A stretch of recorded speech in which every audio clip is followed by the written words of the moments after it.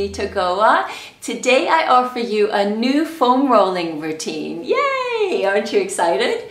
This one comes by request by my former student Cara from New York City. So great to have Cara with me here on YouTube. I made this routine a little different than the other foam rolling routine for the lower body that I made a long, long time ago. This one covers really the whole entire body and I hope that you're going to like it. I am using a soft foam roller, but I also have a hard foam roller. The thing is, I prefer the soft foam roller and my husband prefers the hard foam roller. Now there is a difference between a soft foam roller and a hard foam roller. So instead of going through all of that here in the intro, I made a blog post about it. So you can follow the link in the description box below and read about the differences and also the benefits of using a foam roller. All right? So I hope you enjoy this. Go through it. Let me know in the comment box below how this feels on your body. And if you like it, give me a thumbs up. Let's get started. We're going to start off testing out two different poses so that at the end we're going to repeat that and see if uh, any changes has happened along the way. So first, lie down on the floor. Just in a Shavasana position. Be very comfortable with your legs uh, separated, your arms at your sides. And notice how your spine feels. Notice if your spine is uh, lifted off the floor, if your spine feels like it's resting on the floor. Notice how your neck and your shoulders feel as well as both of your shoulder blades.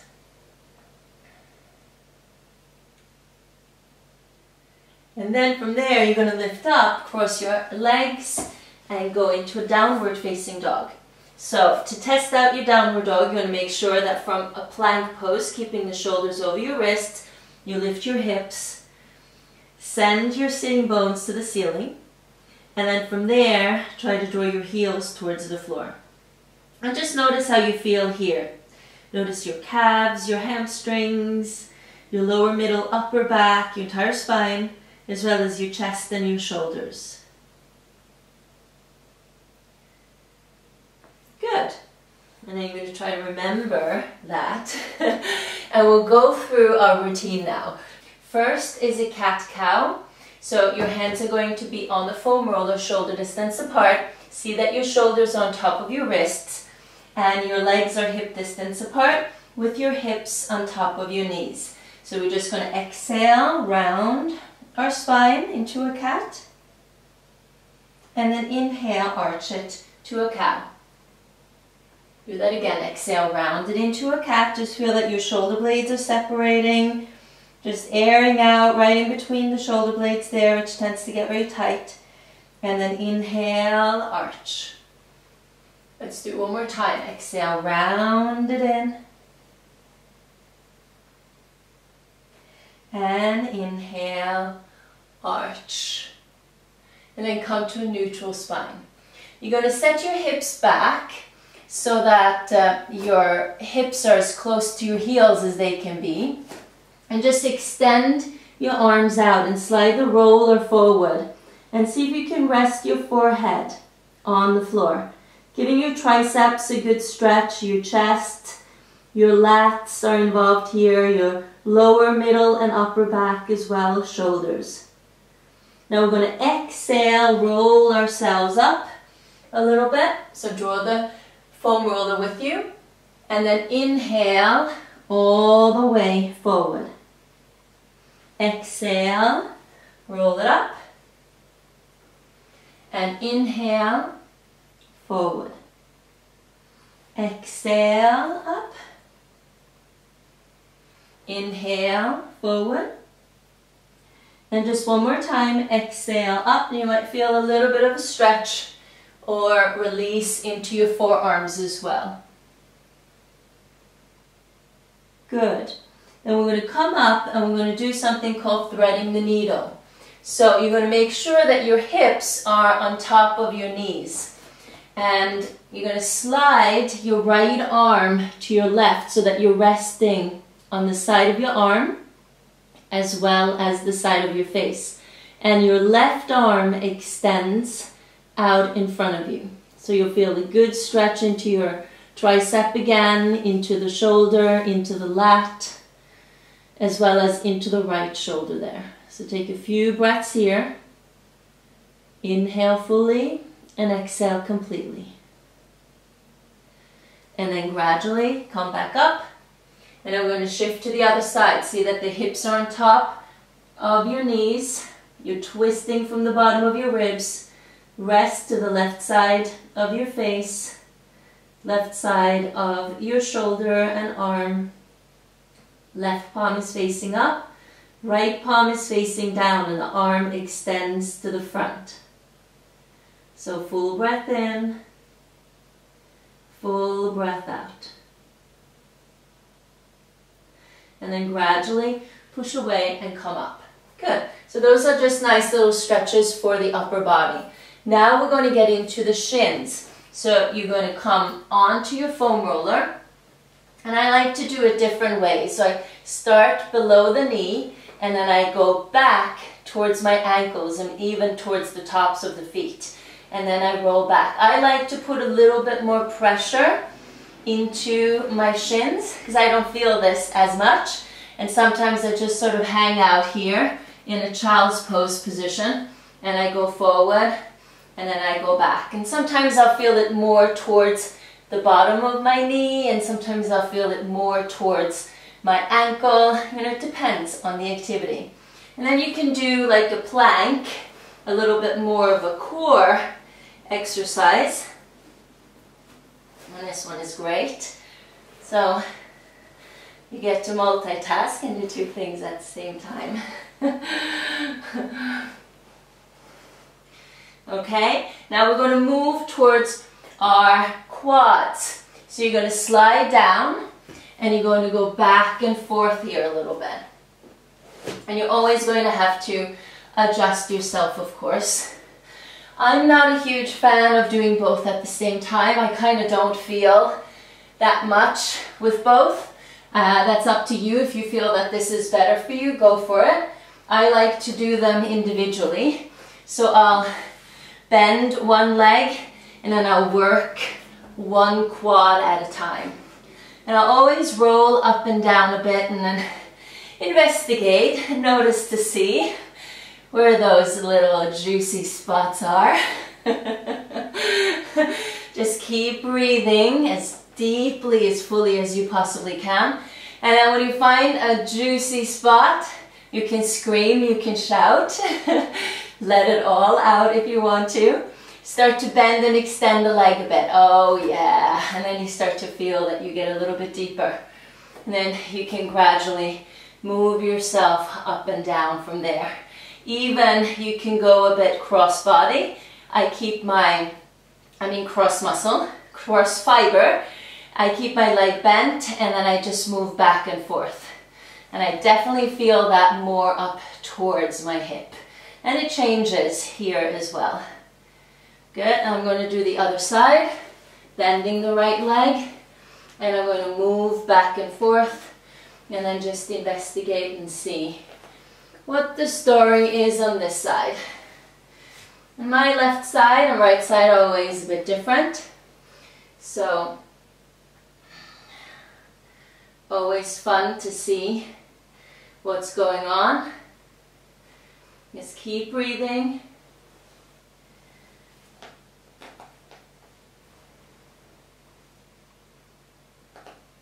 Good.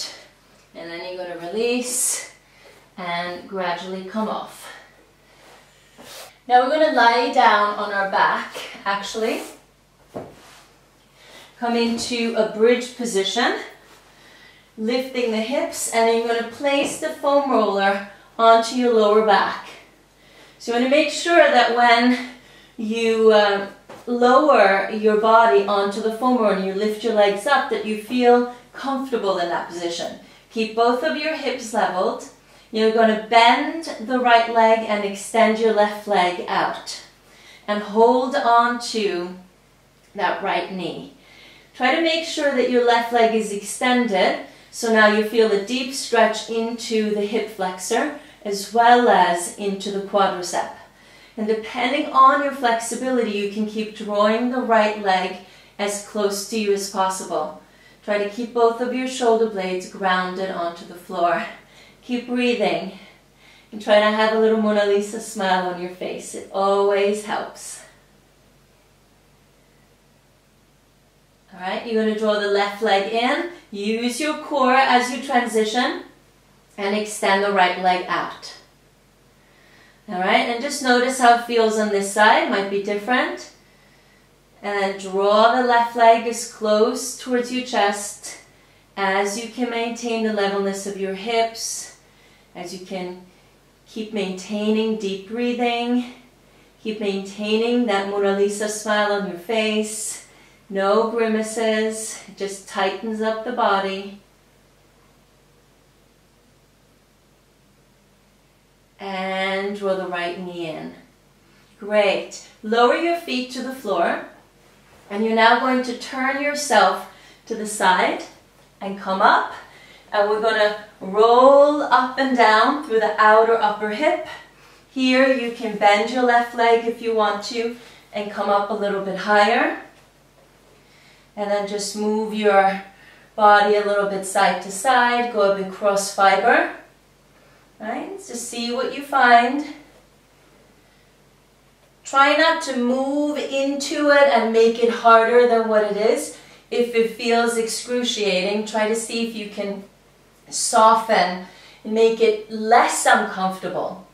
Alright, if it doesn't feel really hard, you know, don't move into it and try to make it any harder just allow the movement to happen and, and um, allow the fluid to start to keep moving and uh, you're fine. All right, go up and down through the IT band.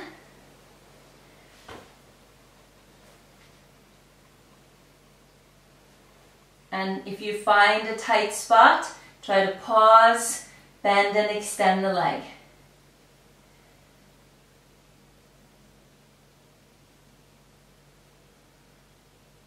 And then try to pause and just hold. Breathe for a few moments on that spot and then just gradually move it up. The IT band always feels a bit tight. Good. We're going to shift it over to the other side. Starting in the outer upper hip, those outer glute area, external hip rotators. So doing this and releasing that area is great for pigeon pose as well as ankle to knee pose and the um, cow's face pose. Wonderful complement. Good, maybe move the hips a little bit side to side.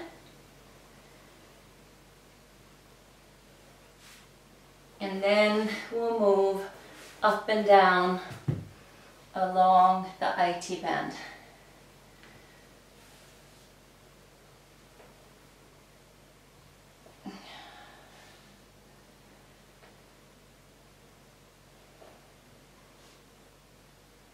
Yeah, right there. And just once you found that spot, just bend and extend the leg a little bit.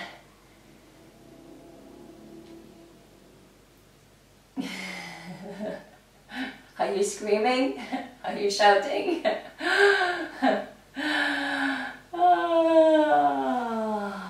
And then pause wherever you feel a tight spot. Keep breathing. Hold. And then gradually start to work your way up. Oh yeah. Lovely, lovely, lovely. All right. We're going to lie down and we're actually going to place the foam roller on our calf. You're to keep one leg bent and I like to just move it a little bit back and forth.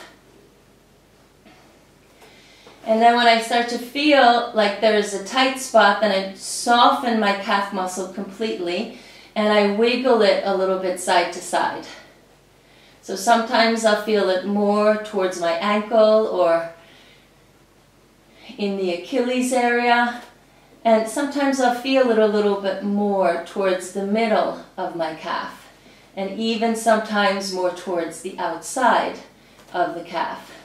So just a little bit, but the key thing is just to completely try to soften the muscle, relax the muscle, and then move around. And initially, it can be excruciating. But the more you try to soften it and the more you wiggle it around, the more it hydrates the muscle and it will be then easier to stretch. Try it on the other side. Feels it's a little bit challenging initially to really soften and relax the calf muscle. So you have to use your mind and go down there. Uh, and uh, it's not always so easy to find that connection. But practice, just keep at it.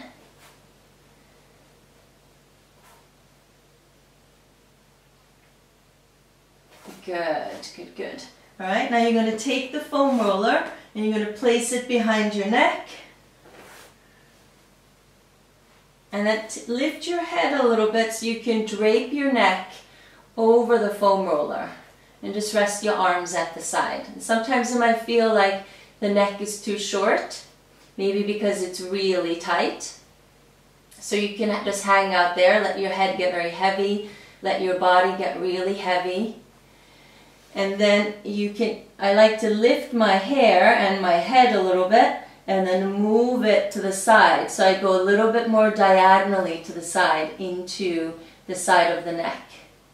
And from there you can do a gentle no and then just a gentle yes. And here, don't crank yourself into the neck if it feels extremely tight. Definitely don't crank yourself into the neck or into the foam roller and dig yourself in there and say, God damn it, I'm going to release that tension. Just completely soften yourself into it. And breathe. Good, and then gradually change it over to the other side. Right, just go a bit on a diagonal. Hang out there for a little bit. Just a little gentle yes gentle no.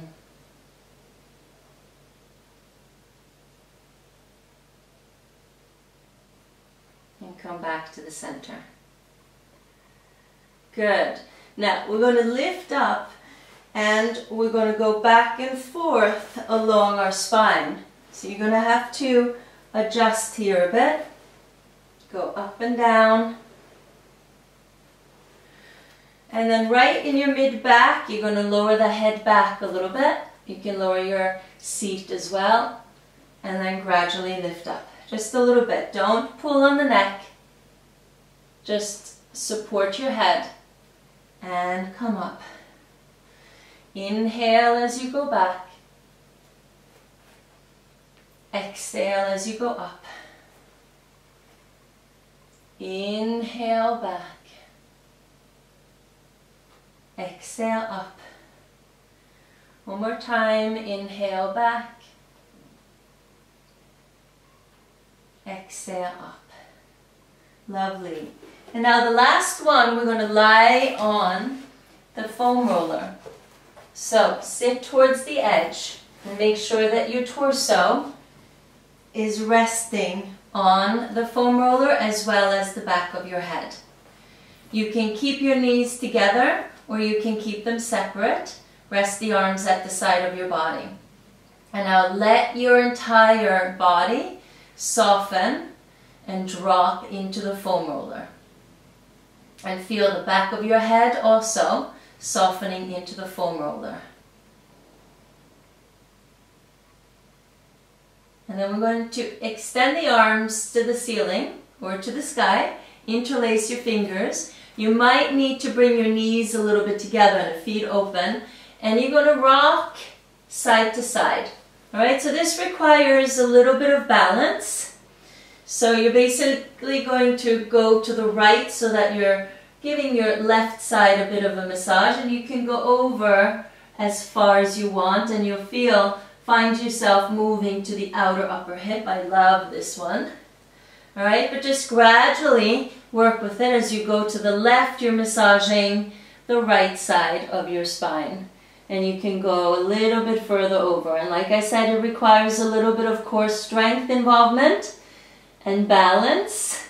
So there has been times when I've fallen over to the side. So let's see if I can avoid that. Just very gently.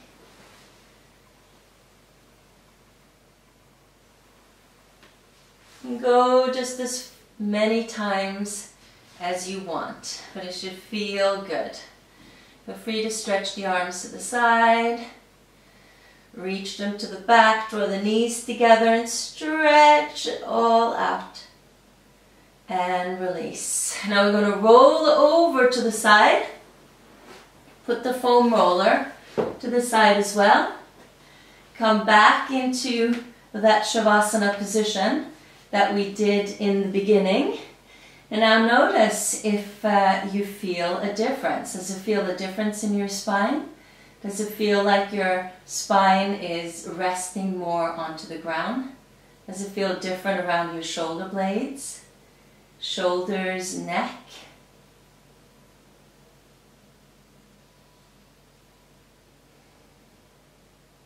Let me know. And then we're going to turn around and we're going to test out that downward facing dog.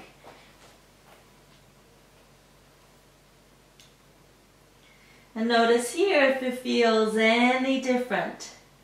Notice the calves, the hamstrings, your spine, your shoulders, your chest, your neck. Just the overall feeling in your body and release. And usually I feel like it's um, more lubricated. It feels like there's a current running through my body. Feels more hydrated. It definitely feels easier to stretch after having done this uh, routine. So I hope that this has been helpful for you as you've gone through it. Do it again and again. You can do it as often as you feel is good for you. Just make sure that you do it on a regular basis. If you like it, give me a thumbs up and leave a comment in the comment box below and tell me how this is feeling on your body. All right, I wish you well. Happy stretching, foam rolling, and I'll see you next time. Bye.